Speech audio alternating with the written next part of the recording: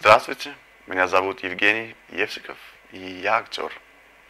Я э, родился в Кохлоярве, в Эстонии, и в 11 лет я переехал в Данию, и жил в Дании ну, более 20 лет. Эм, я закончил э, актерскую студию Уильяма Эспера в Нью-Йорке, где я учился на актера. И э, начал сниматься, как приехал домой оттуда. Эм, я занимаюсь кином тоже, я режиссер, сценарист и монтаж я тоже сам делаю. Говорю по-русски. Я свободно владею датским, английским. И ну, я могу тоже по-испански говорить, по-немецки говорить. Я понимаю много испанского, например. Эм, и сейчас я живу в Дании, но я езжу между Данией, э, Америкой и начинаю в Россию приезжать. Мне очень интересно побыть в России.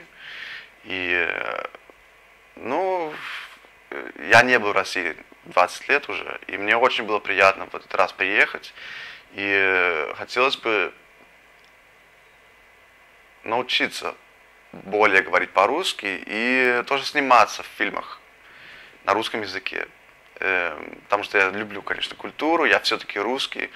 Эм, у меня родители из Сибири и из Петербурга.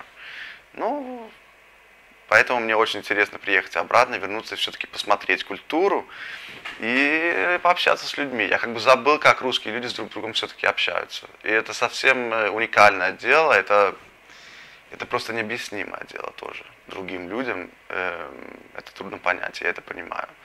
У меня мама приезжает обратно в Россию сейчас, потому что ей, ну, ей хочется обратно в Россию. Она все-таки себя не чувствует европейкой, не она все-таки чувствует себя русской, потому что она такая всегда и была, сибирячка. Я люблю путешествовать, и мое любимое, любимое, любимое, любимое дело – это на лодке плавать. Я люблю с парусами плавать, например, и я э, с удовольствием бы снимался в кино. Я занимаюсь боксом, я занимаюсь йогой иногда. И я, кстати, не вожу машину. У меня нет правов. Как я живу в Дании, я езжу каждый день на велосипеде.